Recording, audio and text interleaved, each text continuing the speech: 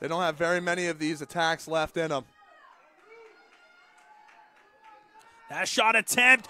And once again, Sam Walter. Are you kidding me? He goes completely lateral in the air, full extension, catches the ball. That was a brilliant shot, but a way better save. He was horizontal, and Clover Park warming Oh. behind him was just giving him props to that when I saw him turn around and give them a thumbs up. That was unbelievable. They're still talking about it. One of the best, the best save I've seen of the high school season.